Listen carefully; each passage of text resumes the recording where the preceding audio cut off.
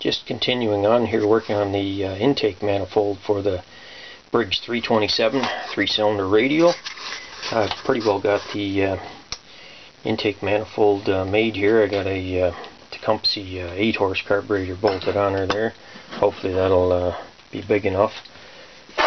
Um, anyway, I uh, used a uh, three quarter inch cross here for it and then going with half inch copper intake manifold runners.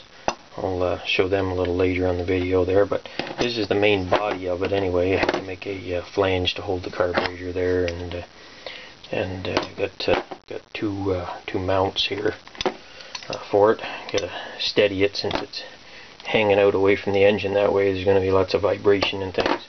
So anyway, I just wanted to show you that.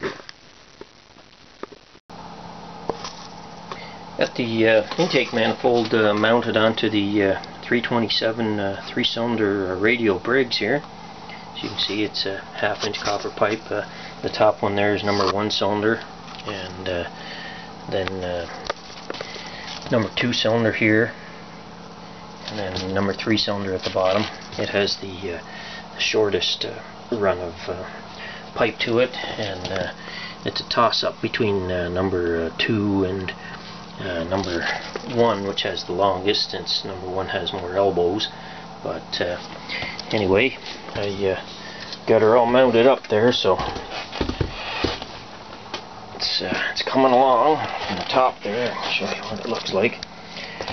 Carburetor sits over to one side there.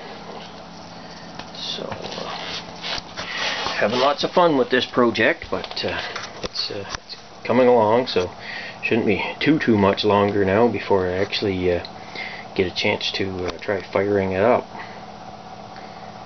So thanks everyone for your patience.